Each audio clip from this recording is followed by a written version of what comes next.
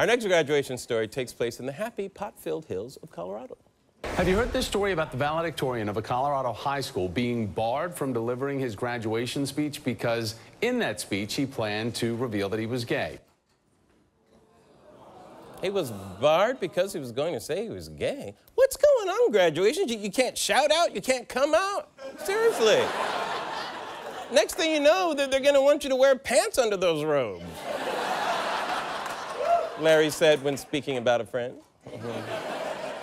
okay, fine. So, douchey principal wouldn't let this valedictorian come out of the closet in the speech, but, but why was he barred from speaking? I made all the edits that they asked me to. I just refused to take out the part where I say that I'm gay because I thought that was the most important part of the speech. Yeah, man. That's what I'm talking about. Good for you. Okay, so uh, he was going to come out in front of the whole school, right? So, so what happened? How did Evan end up telling his parents that he was gay? It was Mr. Bachman who called Evan's dad to tell him he wasn't going to allow his son's speech. And it was also Mr. Bachman who told Evan's parents their son is gay. What? Mr. Bachman, the principal? He outed Evan to his parents? How'd that call go? Uh, hey, Mr. Young, yeah, just wanted to let you know the PTA meeting got pushed back to 8. Oh, and your son's gay. Gotta run. A principal's job is to open up life's opportunities, not to take away one of life's biggest moments. Well, you know, it's a shame that this kid couldn't make his speech, a speech about tolerance and acceptance. It'd be really great to hear it, which is why I flew him out here. Please welcome reading his valedictorian speech, Evan Young, everybody.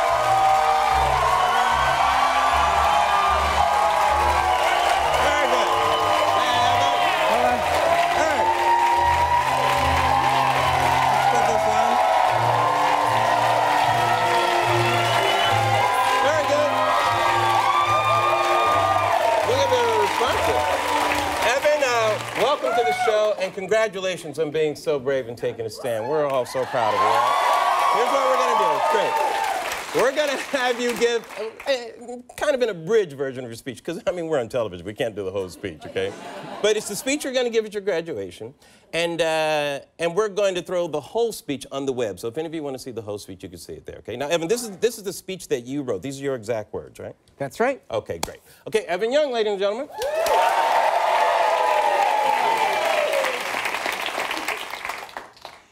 In the words of one of my heroes, Stephen Colbert, dreams Well, can...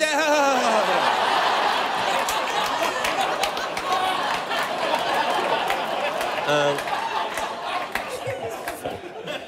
Did you just say Stephen Colbert? Um, you wrote that? Come on, man.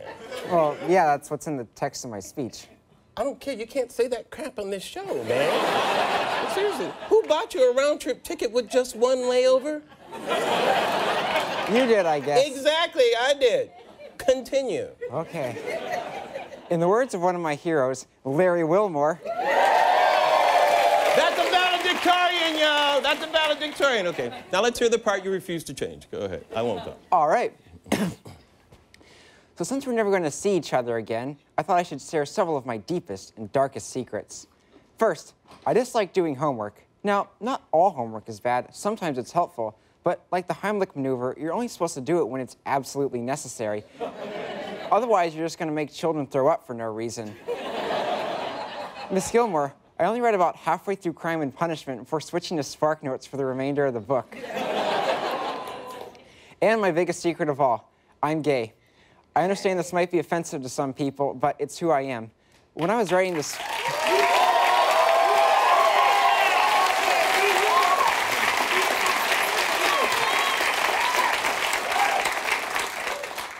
When I was writing this speech, I was endlessly debating with myself whether I should reveal this on account of how divisive an issue this is and how gay people tend to be stereotyped.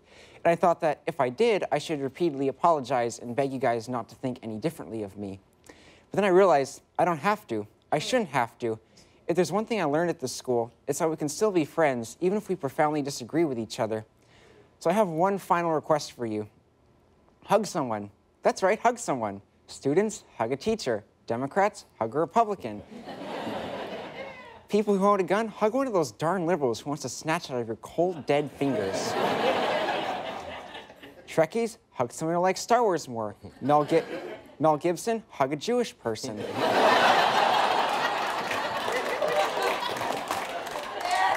Conservative Christians, hug an agnostic. Hug a gay person while you're at it, too. Actually, please don't, because I don't want to have to hug everyone here, but you get the point. And finally, we're at the part you've all been waiting for the end of the speech. Goodbye, everyone. I'll miss you. And whatever happens to us, and wherever we go, my only hope is that we'll meet again. Don't know where, don't know when. Evan Young, everybody!